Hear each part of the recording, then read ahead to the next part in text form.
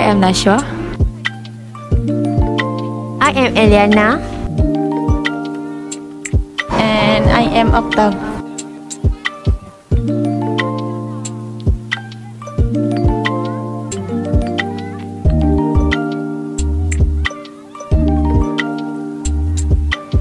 To find range, we need to find the upper boundary of the last class and lower boundary of the first class. In here, we can see from the data that the last class is 18, so our upper boundary will be 18.5 and our lower boundary is 0.5. To find range, we use a minus b equal to range range. So 18.5 minus 0.5, we will get 18. So in here, we can conclude that our range is 18.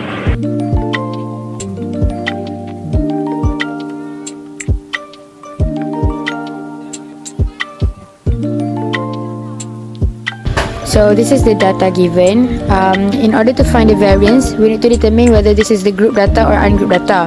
So as you can see here, this is ungrouped data. Alright.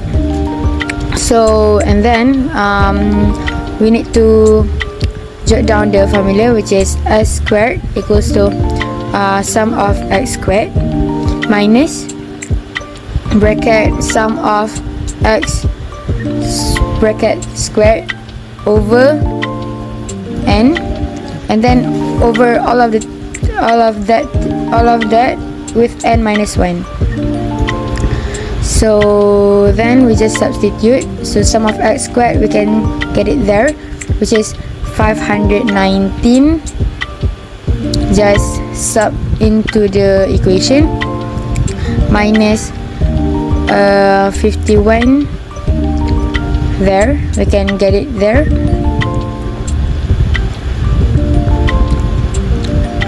Fifty-one squared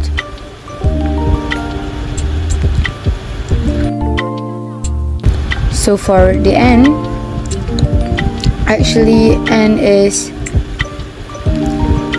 um, total interval. So 1, 2, 3, 4, 5, 6, 7. So we just took down 7.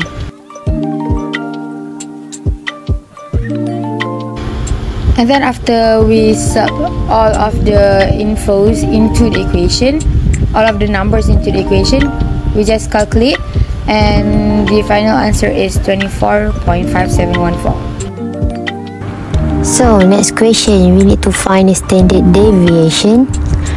As we all know, the formula for standard deviation is surd variance, which is s square. So s square we already get from the previous questions, which is 24.5714 and by using the calculator and we will get s is equal to 4.957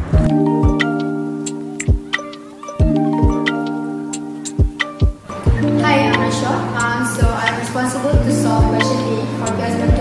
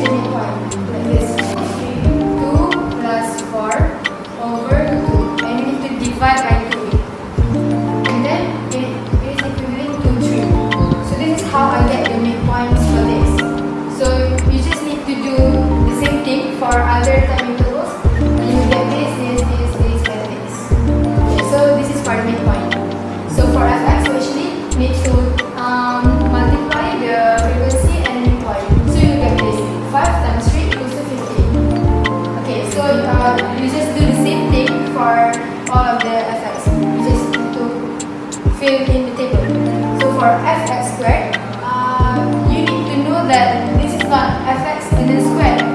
Uh, the square is for x only.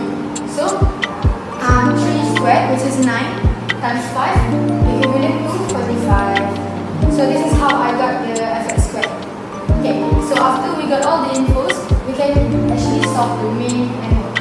So for me, the equation is sum of fx over n. So sum of frequency, which is sum of f.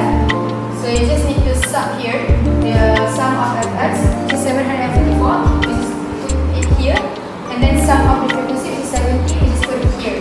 So it is equivalent to 10.63. So the mean is 10.63. Okay, so for the mode, actually we need to apply this equation. So this is the equation for mode L, um, capital L plus d1 over d1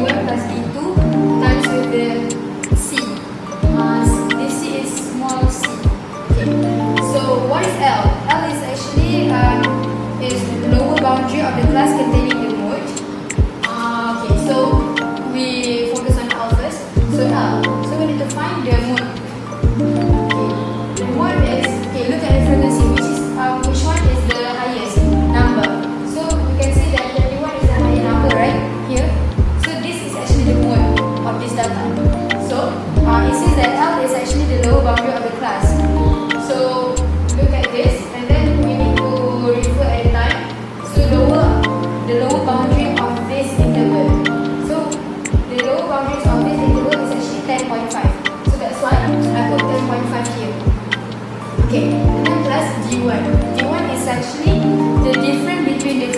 of the mode class and the frequency of the previous class frequency. So which one is the mode class? Here, right?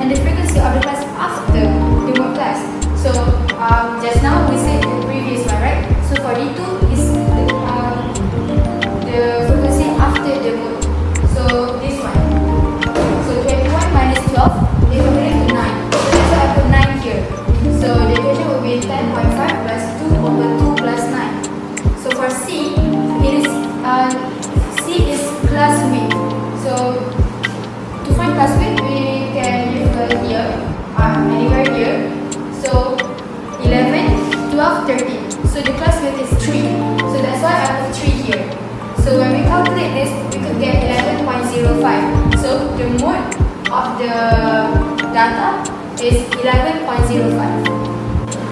Hi, I'm Elena. So I will explain the next question, which is B. Determine the 40th percentile. As we all know, the formula for percentile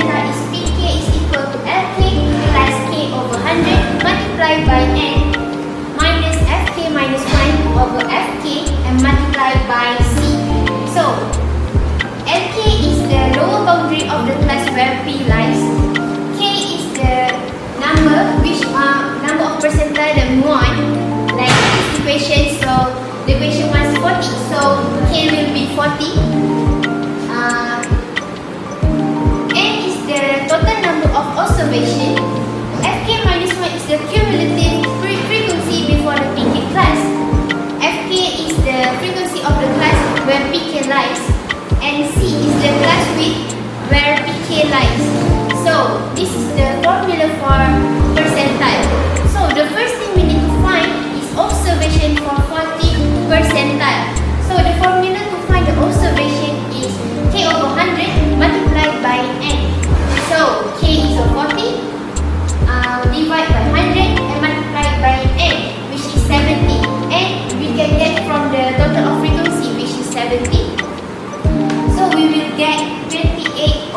observation. So for 40 percentile is 28 observation. So back to our formula, our percentile formula, PK. K is a 40 uh, is equal to LK. LK uh, is 7.5. Where I get is, as you all know, the observation for 40 percentile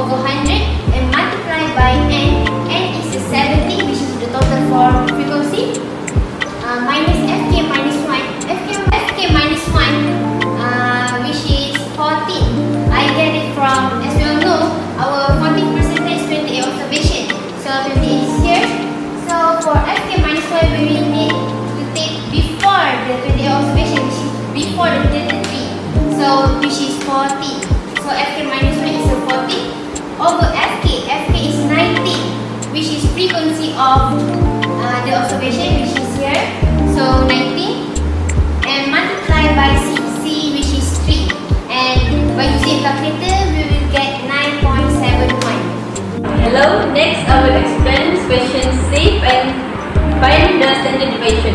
First, we must find the variance of variance x s square. So from our data, we get sum of x square at 9 to n and then sum of x we get 744. And then now we substitute into the formula, we get add 9 to n minus by 744 square divided by 17 over 70 minus 1. We will get 14.8 14.7 at x. We find the standard deviation. So standard deviation s equals to square root of x s square. So square root of 7 14.7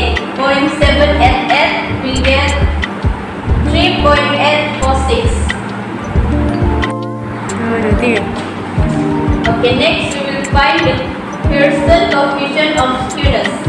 Using the formula SK equals to mean minus mod over standard deviation. So, we get 10.63 minus by 11.05